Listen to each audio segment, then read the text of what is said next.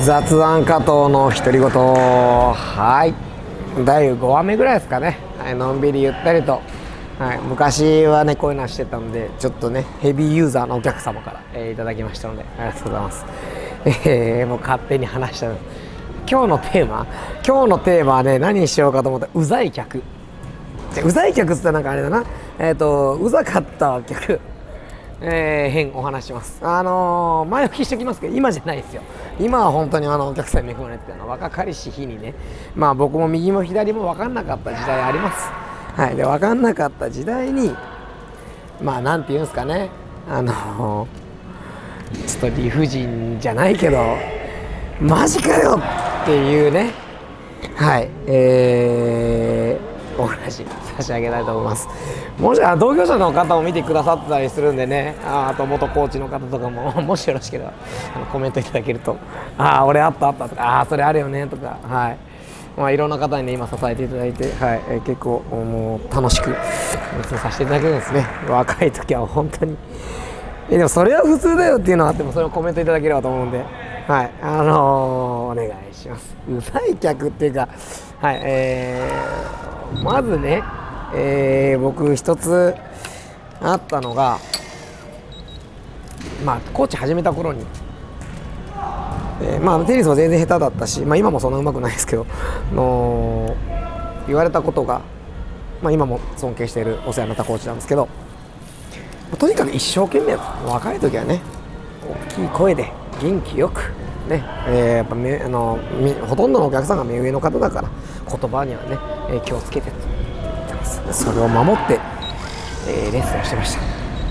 はい。自覚あります。でマジであのでそれねある時クレーム来たんですよ。でどういうクレームかというとあのコーチやる気がないとなんとかしてほしい。ってその時はなんかその投書箱みたいなのがあってで、まあ、そういうのでねマイナス的なことしか入んないんですよ。でまあその時の、えー、責任者の方に、えー、呼び出されていやこここう来てんだけどなんか態度にやる気がないと。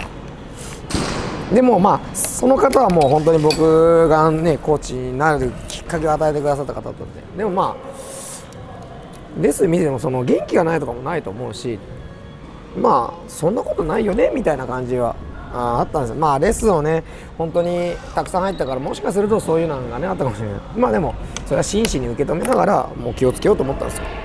でまあ当たり前ですけどね。そのお客さん、まあ、しばらくまあしばらく、うん、来なかったのかな。まあそれはジュニアのレッスンだったんですけど。別にまあいいやと僕は思ったんですよ。でまあそれである時であのテニススクールこうねあの言ってようかな。まあ、いろいろこう枠はたくさんあるじゃないですか、まあ、当時は本当に4面あってもうクラスも充実しててっていった形だったんでアウトドアだったんですけどね。その時に気が付いたらねなんかね自分のクラスで在籍になってるんですよ。でまあなんかあのー、あれじゃないですか。もうその時ね僕本当に自分の中で一生懸命やってたし、まあ、伝わらなかったらそれまでと思うんですけどらもうこの人一生会うことないなと思ったら自分の子供をねうちのクラスで持ってきてるんですよ。もう勘弁してくれと。そこはねプチイラッとしました。イラってかなんで来てんのみたいな。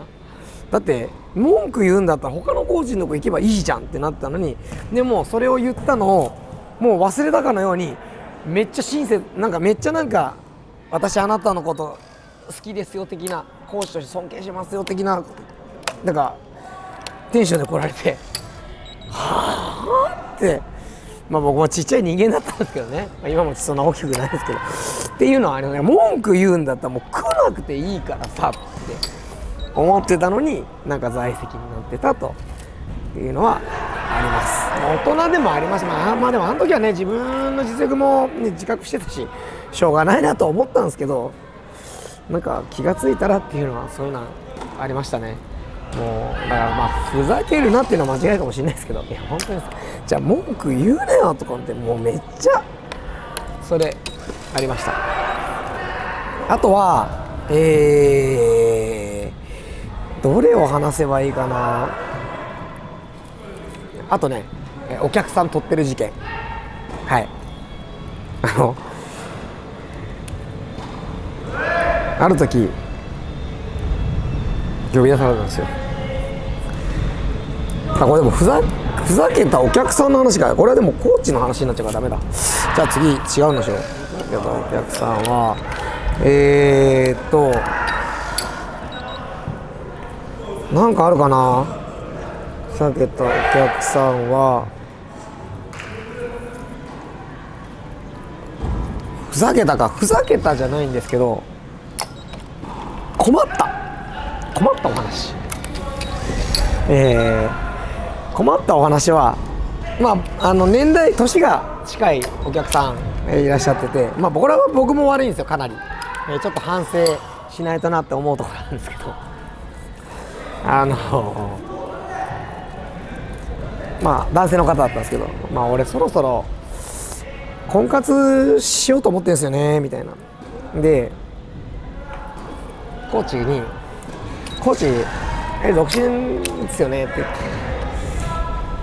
っていうので「ああそうなんですね」ってまあ一応話を合わせるというかまあそうですね。っていう話をしてて。でまあそれは僕も悪かったんですけどね。軽はずであの真剣に今度婚活のなんかパーティーみたいなのあるんだけどって誘われたことがあってその時に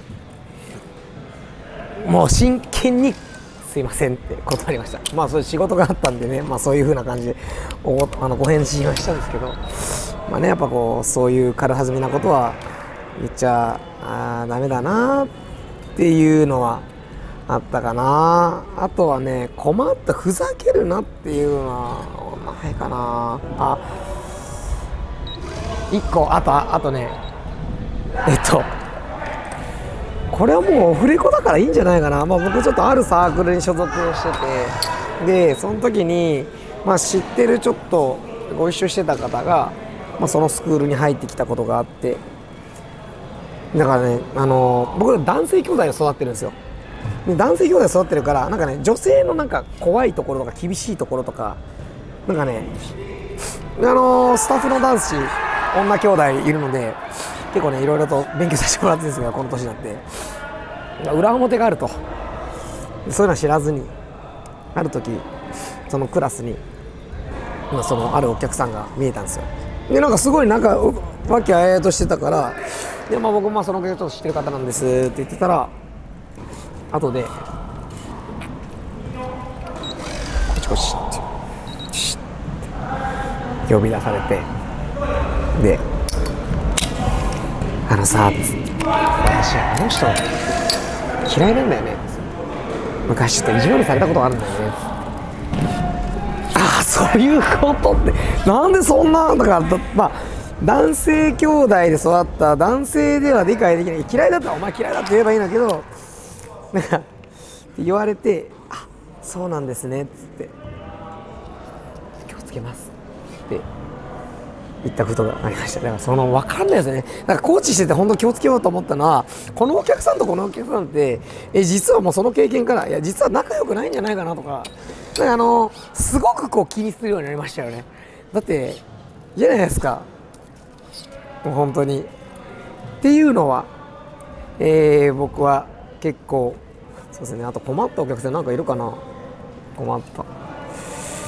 あとはねなんか困ったっていうのはああまあ困ったってわけじゃないんですけどあの、まあ、若い時はね若いからなんかじゃないかな。飯とか誘われるじゃないですか。多分他のコーチとかもあると思うんですけど。その時にここと断るのに苦労しました。はい。いや行ったことがないとは言わないですよ。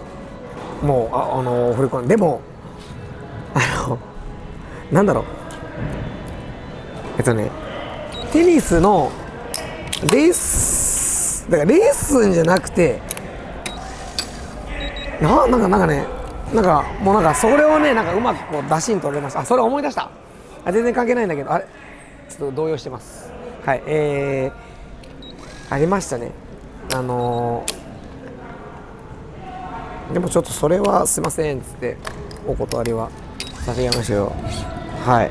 あ今度テニスのコーチまあテニスコートね、まあ、あとはそうですね、まあ、飲み会とかは、まあ、あの今はそうでもないですけど、まあね、ご時世、ご時世だから、若い時はでも誘あの、自分の持ってるクラスの客に誘われた時は、まあ、全部行きましたね、とりあえず。はい。でまあ、気に入っていただいたらね、まあ、男性の方に気に入られることはね、よ夜夜呼び出されて、ちょっと空いてる？モリッチとか言われて、行ったこともありますけど、はい、そういうのは。ありますね、まあ、困ったお客さんね。あーあとあれかな？あの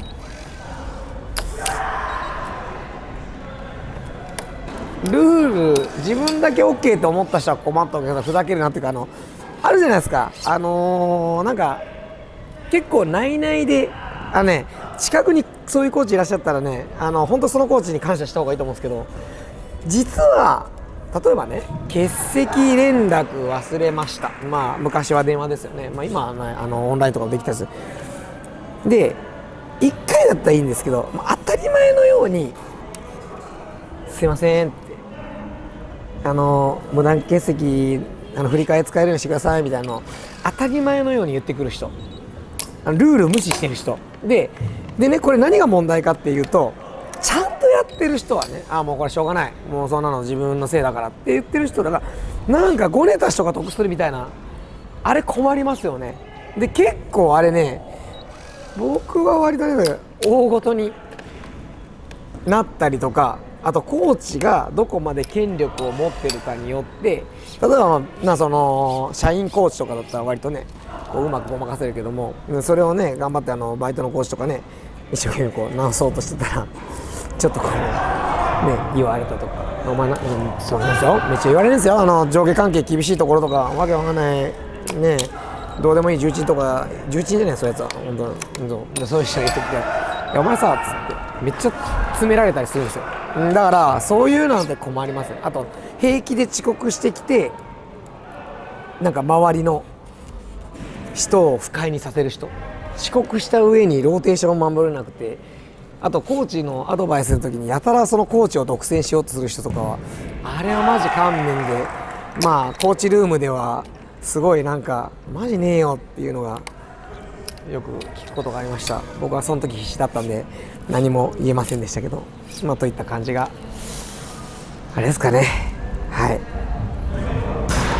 ちょっとこれはマジふざけるなとなりました。といった雑談でした。今日はこれで終わりたいと思います。ではまた。さよなら。